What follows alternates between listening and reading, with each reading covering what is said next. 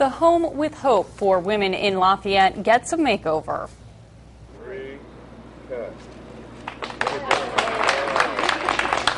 The halfway home for women recovering from substance abuse cut the ribbon on new siding and a porch today. A $12,000 grant from the Greater Lafayette Community Foundation paid for new siding and insulation. The home hopes it will help cut utility bills. Boy Scout Ross Reeder also built the concrete porch to give residents an outdoor sitting area. Home with Hope Board of Directors member Jan French says the improvements wouldn't have been possible without the generosity of others. Reeder says the porch makes enjoying the outdoors a cleaner experience for the home's clients so they didn't get muddy because they have uh, cellar doors and um, they always said they got muddy when they at winter when it rained. We're a nonprofit, um, totally self-funded. Um, our um, major funding is grants and donations and fundraisers.